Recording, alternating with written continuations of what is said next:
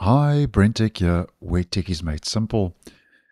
So, Windows 11 has had a long standing issue with the update and shutdown feature, which seems to be finally getting fixed. Now, this is after two years of user feedback to Microsoft, where Microsoft now has resolved the bug in the latest dev channel build.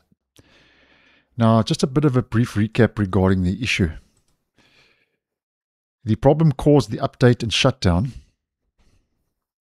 option to restart the PC instead of turning it off completely. So this is what you get once an update has been downloaded. And as you may well know, you get these visual cues as part of your power options.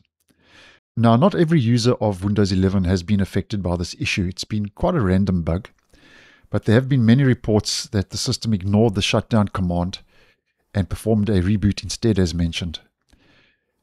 And Microsoft has never really given us a detailed answer regarding why this is happening.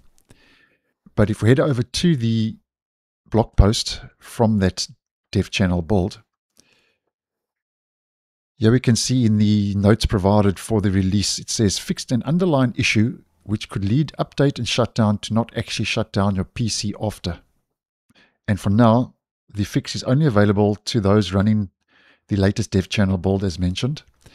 And Microsoft is expected to roll it out to the beta and then the release preview channels quite soon, hopefully. And then it will become part of a stable Windows 11 update, hopefully, in the not too distant future.